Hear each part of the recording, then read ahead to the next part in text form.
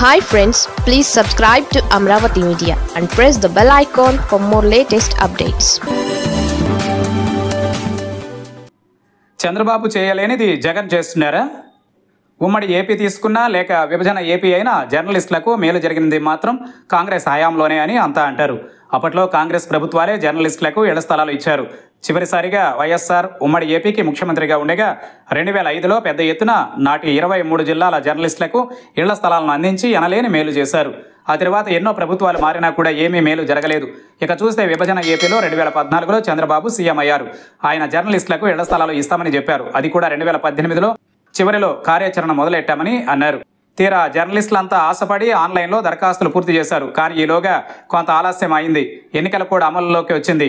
ఆ విధంగా జర్నలిస్టులు తీరని నిరాశకు లోనయ్యారు. ఇక పాదయాత్రలో జగన్ జర్నలిస్టులకు ఇళ్ళ స్థలాలు ఇస్తానని హామీ ఇచ్చారు. జగన్ సైతం ఐదేళ్ళ తరువాత చివరిలోనే ఇళ్ళ స్థలాలు ఇవ్వాలని నిర్ణయించారు. అది కూడా వైఎస్ఆర్ ఎక్కడ ఆపేశారో రెండు వేల ఆరు నుంచి రెండు వేల ఇరవై మూడు దాకా ఉన్న పాత్రికేయులందరికీ సొంత ఇంటి కలను నెరవేర్చబోతున్నారు. అయితే జగన్ ప్రభుత్వం చాలా తొందరగా ఇళ్ళ స్థలాలను పాత్రికేయులకు అందించేందుకు రంగం సిద్ధం చేయాలని అంతా కోరుకుంటున్నారు. ఎందుకంటే ఏపీలో ఎన్నికలకు కేవలం నాలుగు నెలలు మాత్రమే సమయం ఉంది. దాంతో జర్నలిస్టుల దశాబ్దాల కళ నెరవేరాలి అంటే కనుక ఖచ్చితంగా ప్రభుత్వం యుద్ధ ప్రాతిపదికగానే చేయాల్సి ఉంది. మరోవైపు చూస్తే ఏపీలో వైసీపీ ప్రభుత్వం అధికారంలోకి వచ్చిన దగ్గర నుంచి ఒక సెక్షన్ ఆఫ్ మీడియాతో యుద్ధమే సాగుతోంది. ప్రభుత్వ పెద్దలు సైతం బాహాటంగానే ఫలానా మీడియా యజమానులు టీడీపీ అనుకూల వర్గాలు అని చెబుతూ వస్తున్నారు. ఇలా అటు ఇటు రాజకీయాలు చేరిపోయి ఏపీలో జర్నలిజానికి ఇబ్బంది కలిగిస్తున్నాయి.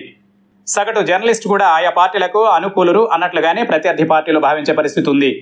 ఇంత జరుగుతున్న వేళ జర్నలిస్టు ఏ పత్రికలో చేసినా అతనికి రాజకీయ రంగు అంటదని అతను చేసేది భుక్తి కోసమని భావించి ఏ తేడాను గుర్తించి వైసీపీ ప్రభుత్వం ఇళ్ళ స్థలాలు ఇవ్వడానికి ముందుకు రావడం హర్షించదగిన పరిణామమని అంటున్నారు.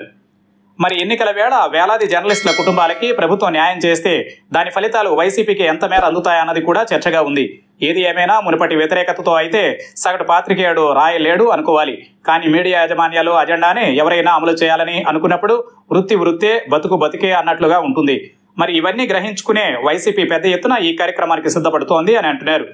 ఏది ఏమైనా సమాజంలో వారధులుగా ఉండే జర్నలిస్టుల పట్ల సాఫ్ట్ కార్నర్గా ఉండడం ఏ ప్రభుత్వానికైనా మంచి చేస్తుందని అంటున్నారు.